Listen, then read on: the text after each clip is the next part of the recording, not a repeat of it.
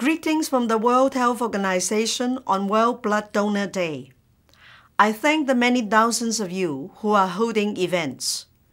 More importantly, I thank the many millions of blood donors around the world who freely offer this gift of life. In high income countries, transfusion is most commonly used for trauma, cancer therapy, and heart and transplant surgery. The situation elsewhere is more basic.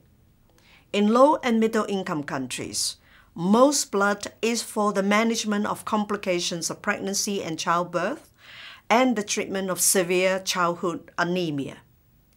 Too many people are still dying because they lack timely access to blood and blood products. This is a huge and unacceptable tragedy.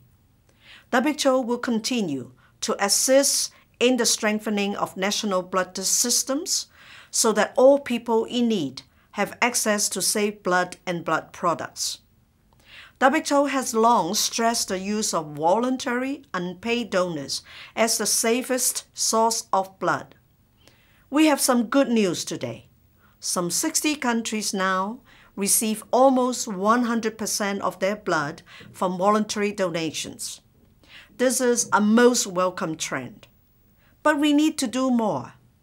The Big WHO's goal is for all countries to obtain 100% of their blood from voluntary donations by 2020. On this World Blood Donor Day, let us vow to work together to reach this goal. Thank you.